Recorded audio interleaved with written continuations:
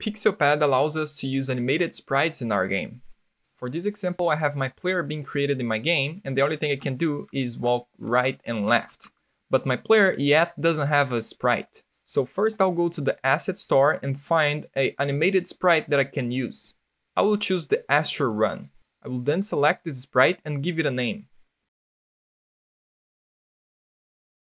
As you can see, when we click on this sprite, we can see something very different.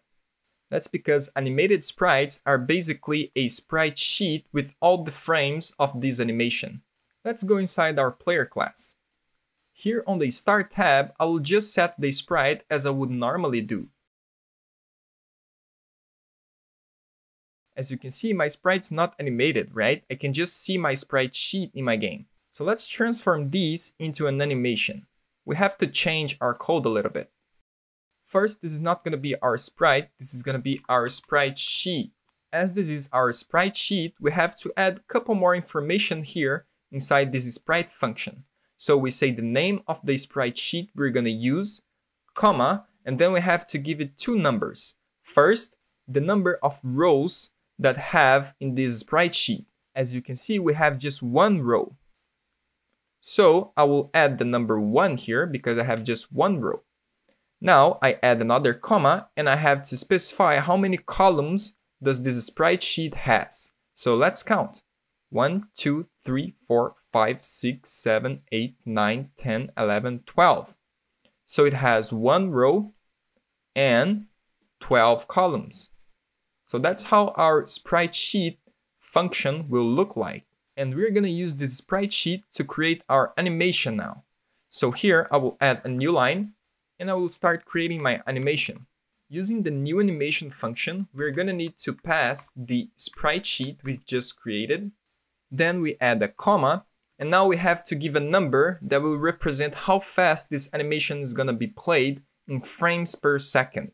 This number is gonna be different for each animation that you add in our game. We will have to adjust this number later once our animation is done. So for now, I will just use 50 here.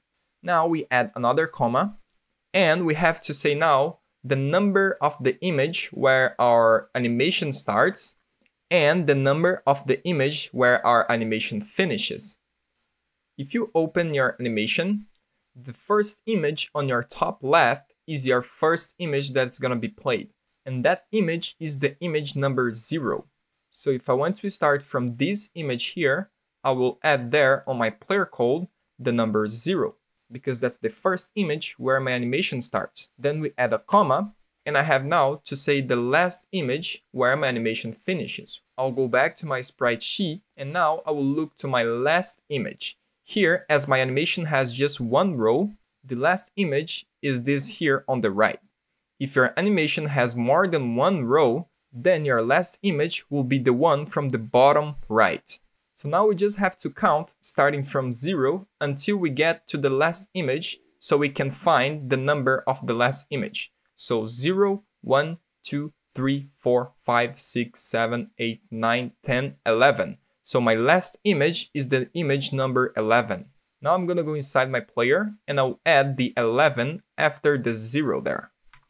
Now the last thing we have to do is to use the set animation function to set the animation we've just created on ourselves, the player.